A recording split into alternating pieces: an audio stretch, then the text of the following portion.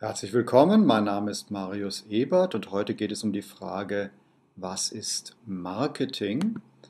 Und was wir machen üblicherweise in unseren normalen Lehrmethoden ist, dass wir die Menschen gleich mit Details und Inhalten vollstopfen, ohne ihnen eine Struktur zu vermitteln. Und genau das, also das Vermitteln der Struktur, ist das, was ich tun werde in dem folgenden kleinen Video. Das ist die Struktur von Wissen generell. Wissen hat immer einen Ausgangspunkt, eine Wurzel, eine Grundfrage, um die es geht, einen Grundgedanken und entwickelt sich dann weiter nach oben in die Details, wobei es nach oben offen ist. Das heißt, es kann hier oben immer noch mehr Detailwissen hinzukommen und es wird hier oben immer mehr. Je weiter wir nach unten gehen, desto einfacher. Achten Sie mal auf das Wort. Einfach. Hier haben wir einfach. Hier haben wir dann weiter oben mehrere Fächer, wie Sie gleich sehen werden. Also das ist die Idee. Also gehen wir an die Wurzel des Ganzen und fragen uns, was ist Marketing? Was ist der Grundgedanke? Und eine einfache Antwort, eine einfache Antwort, noch nicht eine Detailantwort, heißt Marketing ist Denken im Kopf des Kunden. Denken im Kopf des Kunden. Oder wie die Amerikaner es sagen, think in the head and feel, das gefällt mir noch besser, feel in the heart. Also sich in den anderen hinein denken, aber noch kraftvoller ist, sich in den anderen hinein zu fühlen. Marketing ist also die Kunst, die Welt durch die Augen und durch die Gefühle des anderen zu sehen. Dann haben wir zumindest in Deutschland hier ein Fach, das können wir nennen theoretische Grundbedingungen und hier geht es um Denken in Modellen. Ein Modell ist ein vereinfachtes Abbild der Realität und das finden wir im Marketing sehr häufig, dass wir auch hier unser Denken, Denken im Kopf des Kunden, an Modellen trainieren und üben, zum Beispiel das Lebenszyklusmodell oder das Portfolio-Modell, um hier schon mal Beispiele zu nennen.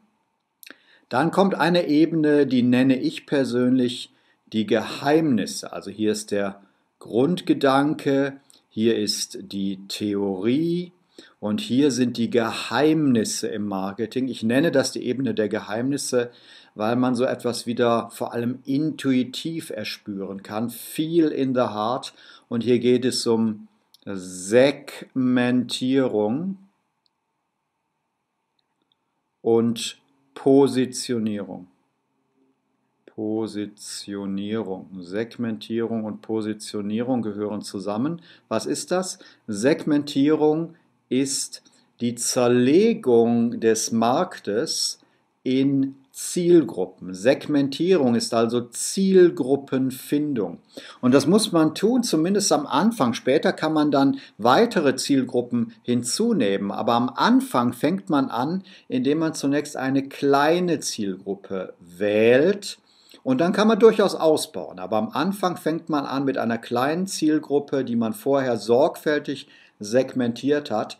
Und Positionierung bedeutet dann einen Platz im Kopf dieser Menschen zu finden. Man positioniert sich über super Qualität, sehr günstiger Preis, toller Service, originelle Produkte, ähm, besonders schnelles und effizientes Lernen. So bin ich zum Beispiel positioniert, Schnelllernexperte. Das ist Positionierung. Dann kommt die Ebene der Strategie. Das ist sozusagen das Steuerrad. Ja, wenn wir uns vorstellen, wir stehen auf einem Schiff und steuern dieses Schiff mit Hilfe eines Steuerrades, dann ist das hier die Ebene unseres Steuerrades. Es ist die Frage, wo will ich hin? Und wie erreiche ich das? Das ist also die Frage der Strategie. Wo will ich hin und wie erreiche ich das?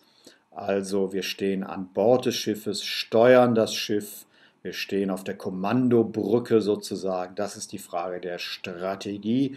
Eine sehr grundsätzliche Frage, eine Frage, die die Geschäftsführung beantworten muss. Wo geht die Reise hin? Und wenn man diese Frage ermittelt hat, dann kommt als nächstes die Marketingforschung. Marketingforschung ermittelt mir nun auf dem Weg zu meinem Ziel immer wieder Informationen. Erst muss ich festlegen, wo will ich hin und dann fahre ich mit dem Schiff los und bekomme über mein Radar, über meinen Tiefenmesser, über viele Messinstrumente, bekomme ich Informationen. Marketingforschung ist also das Instrument, mit dem ich meine Reise mache. Das geht auch über in Controlling. Ja, Marketingforschung hat im Marketing auch zu tun mit Controlling, denn Controlling heißt ja Steuern. Und die Marketingforschung hat einen Helfer und das ist die Statistik. Die Statistik liefert uns Zahlenmaterial und bereitet auch dieses Zahlenmaterial auf in Tortendiagrammen und Balkendiagrammen und so weiter. Und dann kommt die Ebene der Instrumente. Jetzt kommen die berühmten vier Marketinginstrumente, nämlich die vier Ps. Product, also die Produktpolitik, Price, die Preispolitik, Place, die Distributionspolitik und Promotion, die Kommunikationspolitik. Also das erste Product, die Produktpolitik, Produkt- und Dienstleistungspolitik, äh, sagen wir natürlich ähm, ähm, auf, aus Gründen der Vollständigkeit.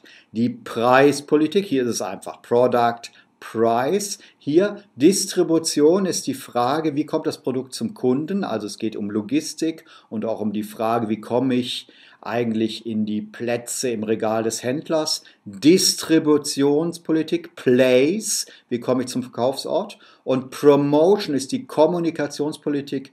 Das heißt, ich verbreite Informationen über mein Unternehmen und mein Produkt. Das ist Werbung, aber auch ähm, Public Relations, Product Placement. Hier gibt es also, wenn wir in die Details gehen, gibt es hier weitere Unterinstrumente sozusagen. Wir können ja immer weiter in die Details gehen. Aber der Grundgedanke ist Promotion, also Kommunikationspolitik.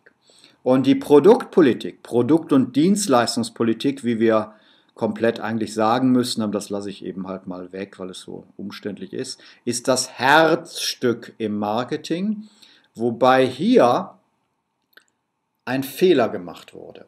Das ist ein Fehler. Das hier Produktpolitik zu nennen, ist ein Fehler, denn wir wollen ja think in the head and feel in the heart, also im Kopf des Kunden denken und uns in ihn hineinfühlen. Und da geht es nicht um die Produkte, sondern es geht um die Bedürfnisse. Man merke sich den einen Satz, der Kunde will keinen Bohrer, sondern er braucht Löcher. Bohrer ist das Produkt, Löcher ist das Bedürfnis. Und wir müssen viel mehr an die Bedürfnisse denken als an die Produkte. Das heißt, Menschen, die sich definieren über die Produkte, haben im Grunde Marketing nicht verstanden. Wenn jemand sagt, ich verkaufe Autos, dann ist das produktorientiertes Denken. In Wirklichkeit müsste er sagen, ich verkaufe individuelle Mobilität. Denn es wird der Tag kommen, da werden wir ein anderes Medium benutzen als das Auto, genauso wie das Auto die Pferdekutsche ersetzt hat. Das war nämlich vorher das Produkt, was zum Bedürfnis individuelle Mobilität passte, die Pferdekutsche. Dann kam das Auto und die Pferdekutschenhersteller konnten zumachen. Genauso wird es irgendwann vielleicht kleine Hubschrauber geben oder kleine Raumfähren oder was immer es da in Zukunft noch geben wird, mit denen wir das Bedürfnis nach individueller Mobilität befriedigen. Merke, der Kunde kauft keinen Bohrer, er will Löcher. Das war's. Vielen Dank. Mein Name ist Marius Ebert.